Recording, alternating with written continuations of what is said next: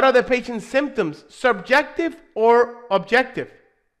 If it is described by the patient or not observed by the nurse, it is subjective. Objective data is observed by the nurse, but in parentheses, measurable. That is important. If you have data on the stem of the question that is measurable, is numeric, you can tell the place value, that is an objective data. Why is this important for you? Because in scenarios where the information that they're giving you is subjective and it's not clear, most of the time the answer is going to be an assessment. Versus if you see a scenario that you have objectable data, okay, measurable data, especially when you have objective data and an emergency, usually the answer is an implementation.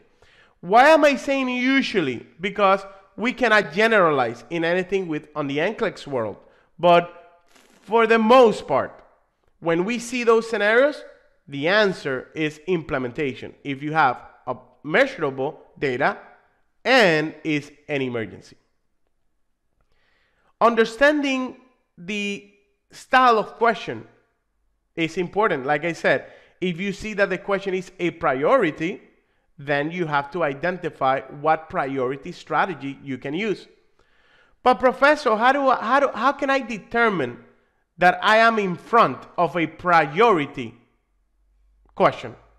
Well, you're going to see keywords like priority, which patient is a priority? What is the priority nursing action?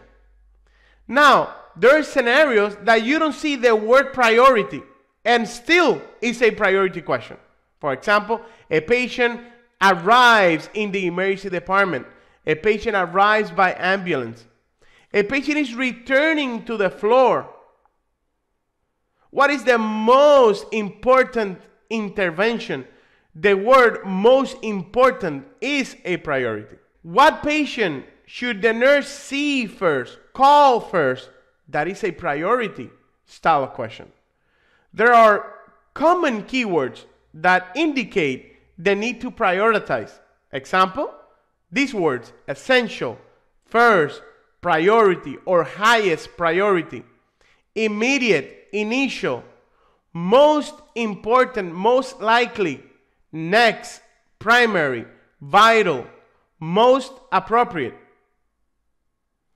If you see these keywords, it's telling you that you're probably in front of a priority question.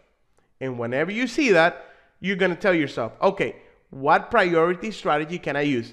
Assessment versus implementation, Maslow's hierarchy of needs, DSAR method strategy, the doctor strategy. There's a bunch of prioritization strategies that you can learn. And we will discuss some of them here in our, in our seven day training.